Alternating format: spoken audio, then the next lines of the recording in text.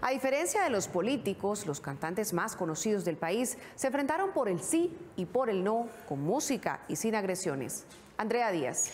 Carolina Carlos Vives, Juanes Fonseca y otros artistas de su talla bailaron por el sí, mientras que grupos de reggaetoneros compusieron canciones para animar el voto por el no.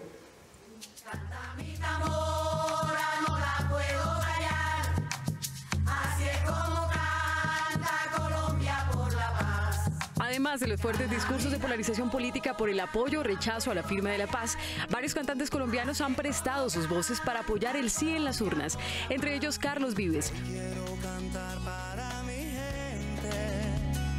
Juanes. Andrea Echeverri. Fonseca.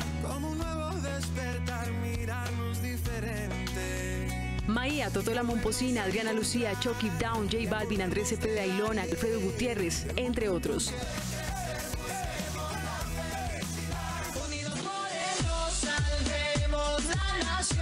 Pero también el no ha recibido el apoyo de cantantes independientes que han inspirado la banda sonora de la oposición a los acuerdos.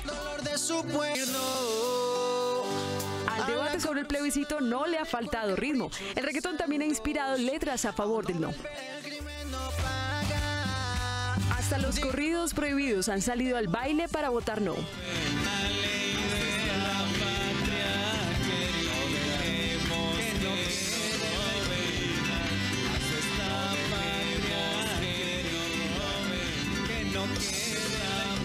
Las canciones por el sí y por el no se disputan la fama en las redes sociales. Por fin llegó la paz a mi pueblo colombiano.